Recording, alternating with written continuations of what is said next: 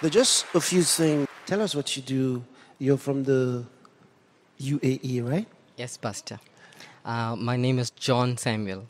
John Samuel. John That's Samuel. correct. I pastor a church in UAE, Dubai. It's called Anchorage.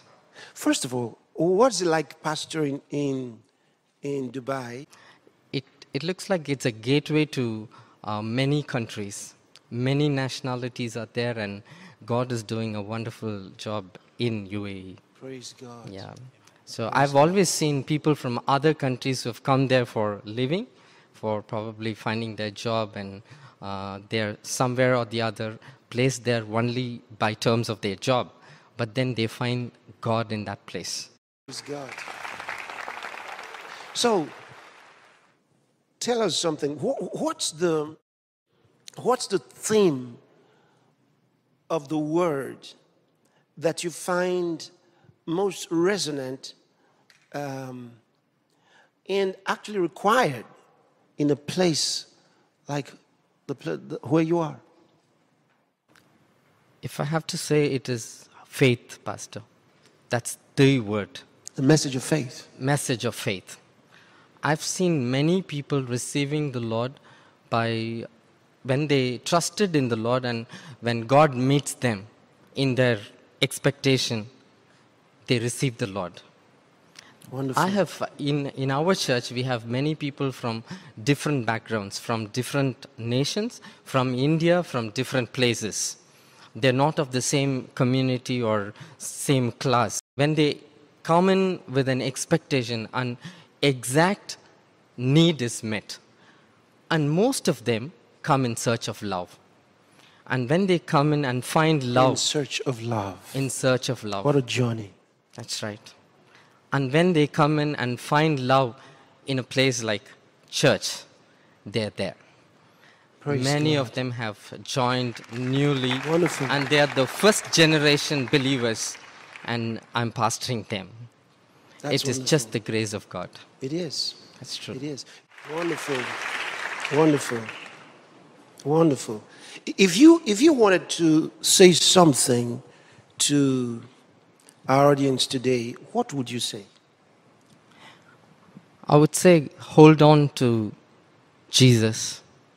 Faith is the substance, is the now thing. As you were preaching right now, I received a lot from that. And the Bible says faith is more precious than gold, which is even tested by fire. And when impurities leave, it has got its own value. But then it is still of the worldly order.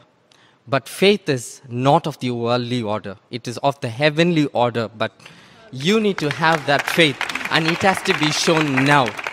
You're not going to wait to express your faith until Jesus comes, because then you may not need it. Because it says, it says, Jesus is the author and the finisher of faith. So you will express your faith today, in the now time. That's the message that I want to leave with you. Thank you. Thank you, Oh, Pastor. that's a powerful. That's really powerful. Wonderful. Wow. In those few moments, you shared so many powerful truths, many amazing lines. What was going through your mind while you were speaking?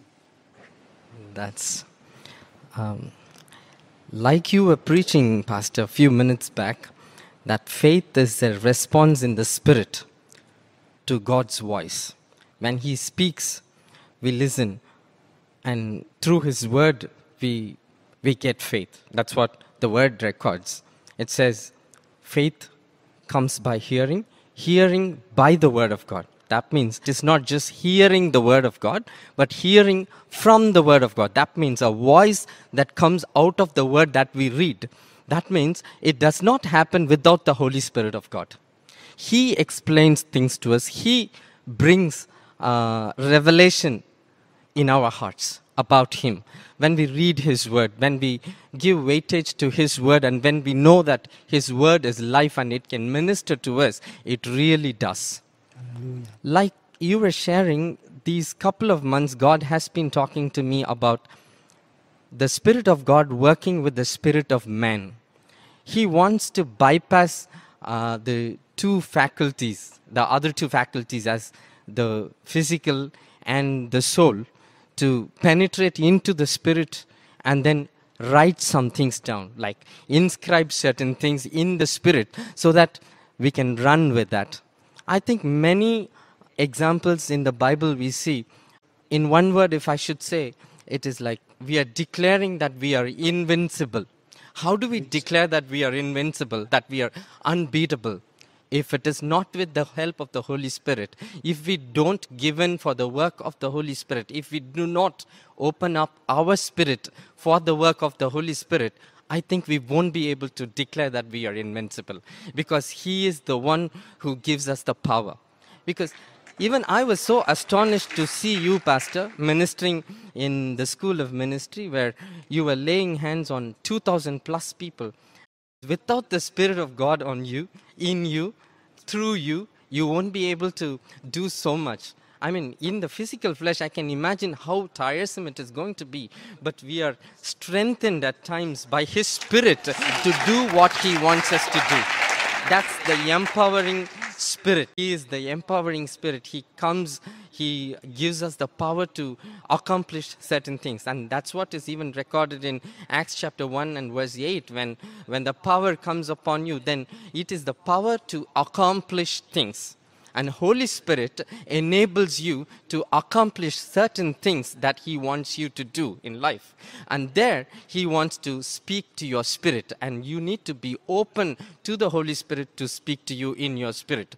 Whenever there is a vision that is laid in your spirit then you will run after the vision. And i know i'm sure pastors doing the same thing. When when god has put some things in his spirit he goes after it. And like each of us can actually let the Holy Spirit work in us. Sometimes we are so stubborn that we don't let the Holy Spirit uh, inscribe that in our hearts. So uh, we tend to think in our mind, saying that, oh, will I be able to do that? But you are actually weighing your own self. But do you weigh God? He says, with me you can do all things. With him who is in you, the spirit of power who is in you, he gets you to do things. And, and that's what I think uh, the Holy Spirit is there for us. And he enables us. He's the spirit of grace.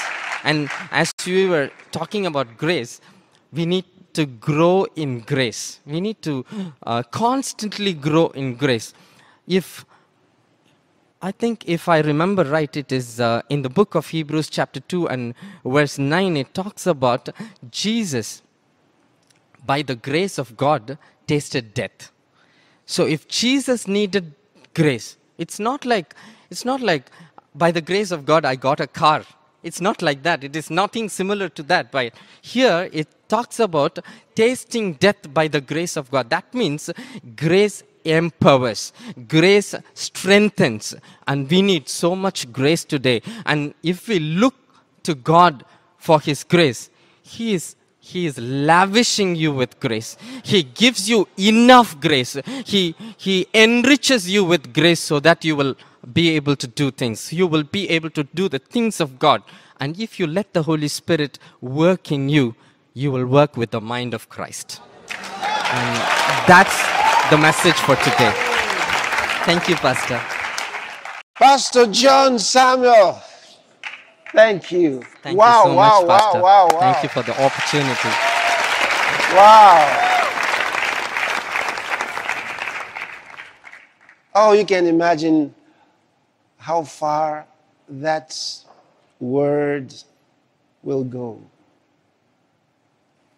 and the transformation that it will bring. You talked about faith, you talked about the Holy Spirit, you talked about grace. Three sermons in three minutes.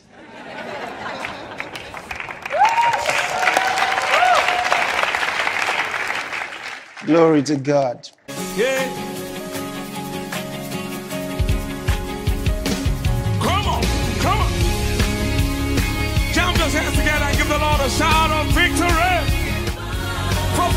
To your to your